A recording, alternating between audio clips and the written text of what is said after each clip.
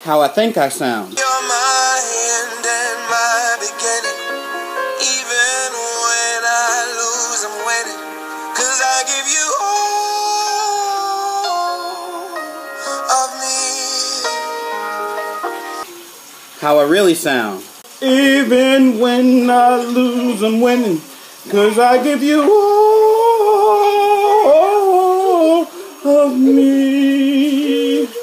And you give me all of you. Of you. Who's the good girl? Sounded good.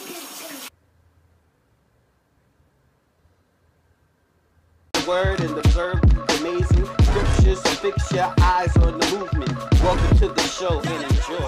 Truthit. Come on, show us that beautiful smile. Yeah, she's got the most beautiful smile. So anyway, what- why don't you tell them what you're going to be doing for both? What is it you're going to take for classes? Biotech. Biotech. Woo! The girl has Woo! little bracelet. So we need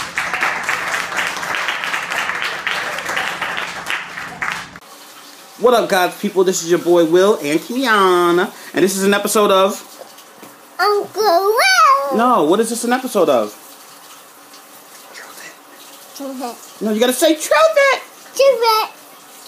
In this episode, Skye gets shown some love. Sunday was wonderful. My daughter got recognized by the church for graduating to ninth grade. I was rewind. I was rewinded. I was reminded that a little, a little congratulations can go a long way. It's important for kids to get recognized sometimes. You want to know how important it is? Just when you when you go when your kid has a little recital or something at school, go to that recital. And then when you're sitting there and you see all the kids walking in, you see all the parents they're waving to their kids. Oh, mijo, te amo, te quiero mucho. Or or Jerome, Jerome, I'm over here, and the kids are waving and smiling back. Hide, hide in a little corner or something so your kid don't see you. They'll just be looking around like lost sheep, tears in their eyes and everything.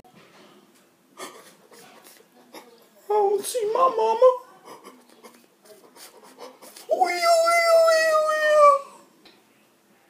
Your kid is desperately trying to find your face because they want that recognition from you. They want to know that they're important enough to you for you to be there, waving and hollering and screaming at them like a fool. My church and my pastor, Pastor Muriel, they knew that it was important. They knew how important it is to recognize when one of the children's, one of their church family members accomplishes something. So they wanted to recognize her, and she felt really appreciative of it as well. Jesus knew how important it was to be there for the children as well. Let's go. to the Bible. Then people brought little children to Jesus for him to place his hands on them and pray for them. But the disciples rebuked them. Jesus said, Let the little children come to me and do not hinder them, for the kingdom of heaven belongs to such as these. When he had placed his hands on them, he went on from there. Matthew nineteen thirteen.